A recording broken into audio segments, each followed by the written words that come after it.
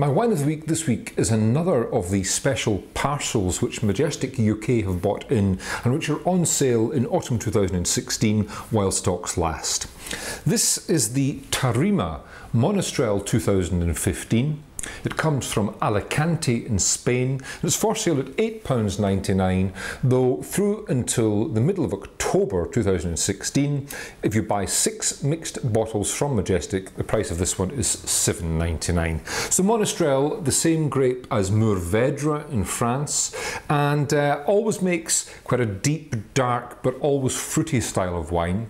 And on the nose, well, this is lots and lots of kind of Kirsch-like cherry lift, as well as a red, plummy, juicy fruitiness. Uh, quite a really attractive but fruit-forward wine.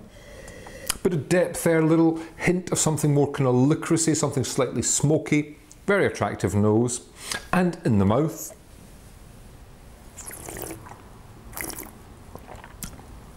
well, it's full-bodied and it's silky. 14.5% alcohol here, so it is a fairly big, chunky wine.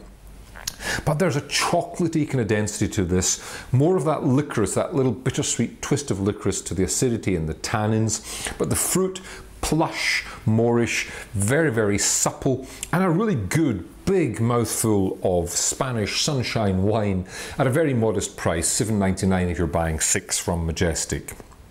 So my wine of the week is the Tarima Monastrell 2015.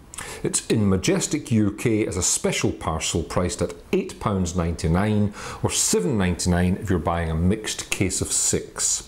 It's a great kind of um, late summer glugger, pretty full bodied, but smooth, big, ripe, rich, and delicious. My wine of the week.